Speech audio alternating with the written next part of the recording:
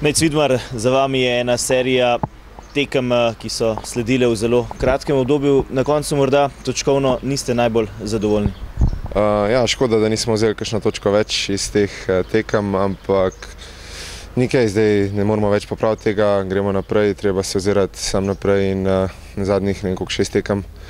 In um, treba iz tle vzeti čim več ne in um, upam, da bomo samo tako delovali naprej, saj v zadnji in um, mislim, da, da, se, da si lahko obetamo kar dosta točk.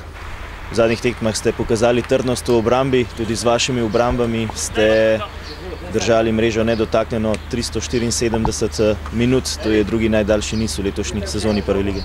Ja, jaz bi prvo rad izpostavil celo ekipo, ker uh, mislim, da sploh nisem imel toliko dela um, v, teh, v teh tekmah in uh, v prvi vrsti bi se zahvalil vsem fantom pred mano in uh, oni so tukaj naredili naj, po moje največ, največji del in če je bilo pač kaj za odbrant, sem probil odbrant, kar se je dal in um, pač prišlo je do tega niza, ampak se pravim, zaslužena je bila res cela ekipa. No.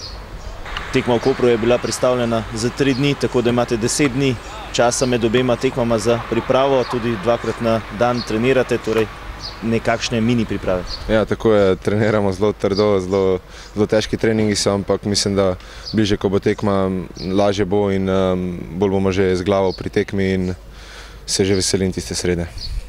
Koper, dve točki je za vami, morda celo najpomembnejša tekma v tem prvenstvu v boju za Evropo.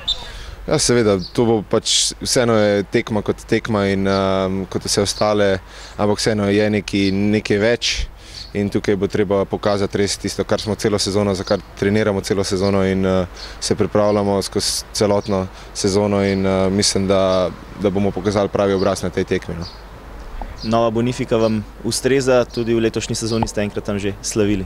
Ja, um, fantje so takrat zmagali, takrat sicer mene ni bilo, ampak jaz iskreno upam, da, da nam bo uspelo še enkrat. No.